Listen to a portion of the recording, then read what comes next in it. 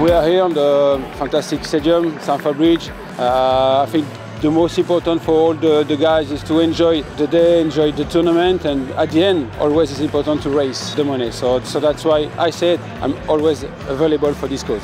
Super proud that we've now got more teams involved this year, and so it means that you know we raise more money, and more people learn about the important work that grassroots soccer does. It's, it's such a universal sport that everyone can play, and if it's to, to do good for, the, for, for young people, they're important. You've got to invest in them. You've got to take time to show them the right pathways in life, and great cause.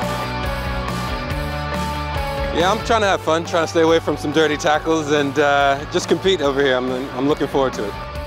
I'm just honoured to be an ambassador and proud to be part of this and uh, hopefully can play my little part into helping another person's life. Yeah, I really enjoy to play with, uh, with the people and then love the playing football, so I really enjoy it.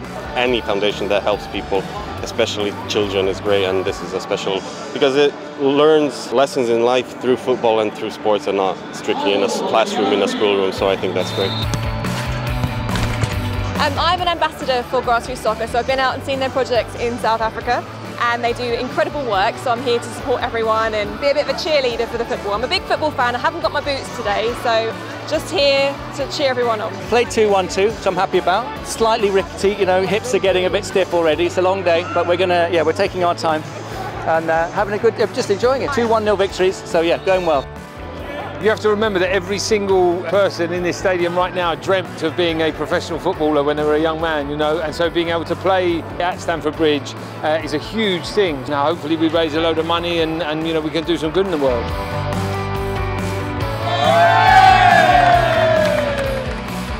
It was a really fun day. Everyone had a good time, and it, that gives us an opportunity to talk about what we do, why we do it. So that's the most important thing. I think it's been a great day. Uh, I think a lot of competition, but in good spirit and of course helping a good cause, but everyone's had a good time, I hope.